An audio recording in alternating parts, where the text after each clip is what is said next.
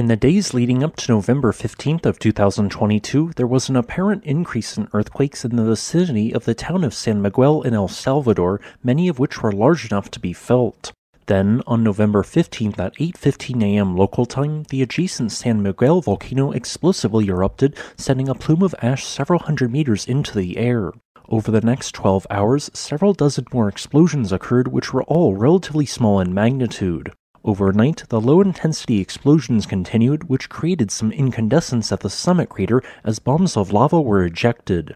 What had just begun was an example of yet another small scale phreatomagmatic eruption of the San Miguel volcano, marking its first eruption in several years. San Miguel is now the 47th volcano to be actively erupting on the planet, and due to the hundreds of thousands of people which live adjacent to this volcano, it is obvious for a large number of people.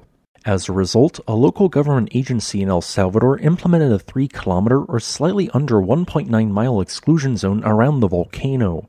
For context, the San Miguel volcano is located in southeast El Salvador, where it is 11.5 kilometers west southwest of a city which goes by the same name.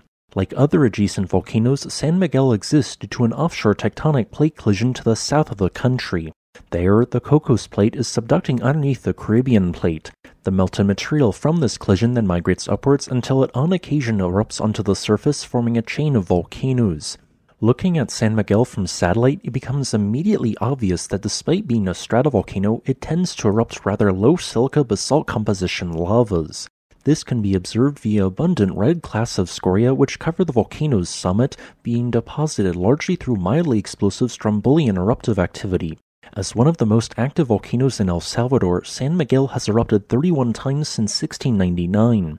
The vast majority of these eruptions occurred at the volcano's summit crater and were relatively small, depositing small amounts of ash within a several kilometer radius of the volcano, and in more recent times, occasionally disrupting regional air traffic. In a manner of speaking, San Miguel's latest eruption and its overall recent eruptive activity is quite similar to Mount Kerinci in Indonesia. They both produce intermittent phreatomagmatic explosions which are relatively small, whose most destructive effects are generally damaging local forms by contaminating them with small amounts of ash. Despite this fact, San Miguel can and has in certain circumstances caused significant property damage. This occurred not through highly explosive eruptions, but rather through effusive flank eruptions. These have produced flows of lava which can, within hours to days, travel up to 11 kilometers from San Miguel's summit. Around a half dozen of San Miguel's historical eruptions have produced flank lava flows, but several of these stayed within a 4 kilometer radius of its summit. While flank effusive eruptions from cinder and spatter cones can technically occur in any direction around the volcano, they appear to be most likely to originate from a north northwest trend which runs through San Miguel's two most obvious flank lava flows. Although San Miguel appears to have only produced small scale explosive eruptions throughout its geologic history, there is some debate as to whether a large eruption occurred in the past several thousand years. One paper suggested a VEI 4 explosive eruption occurred, while another found no evidence that this volcano has ever produced a highly explosive event. Regardless of the very low likelihood of a repeat event occurring, the possibility of such is still non zero. Luckily, there has not been any abundant uplift detected at San Miguel in the last week, while its carbon dioxide emissions only increased slightly from 500 to 600 parts per million before erupting. As a result, San Miguel's latest eruption will likely be small, and there is not yet any evidence that a flank eruption will occur.